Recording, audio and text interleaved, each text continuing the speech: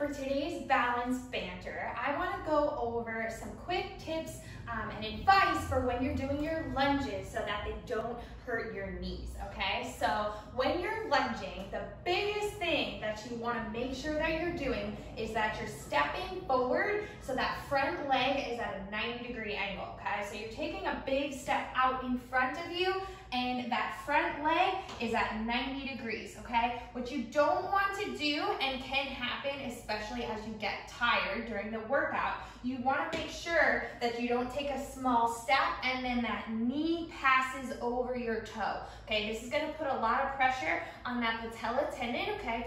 Your patella to the bottom of your leg, essentially, okay? You don't wanna stretch it, put too much force on there.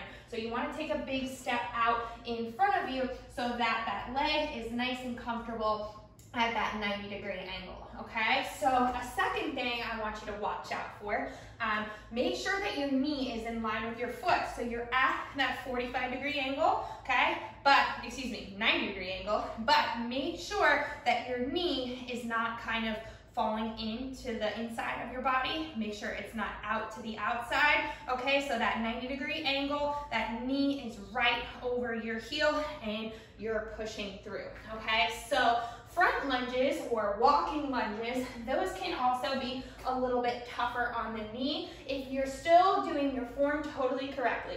Front leg's 90 degree angle, the knee is in line, it's not wobbling in and out, Something that you can try a little bit easier on your knees can be a reverse lunge. So you're stepping backwards, but again, big step back so that that front leg is at the 90 degrees.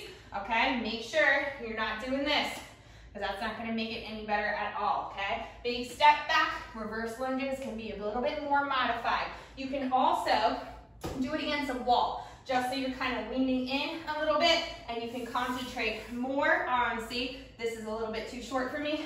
Concentrate more on the angle of your legs rather than worrying about your balance and such like that. So utilize the wall to help you. All right, so front leg, 90 degree angle, keep it in line, do reverse lunges instead if you need to, and utilize the wall to help you out. All right, guys, balance banter. Have a great week.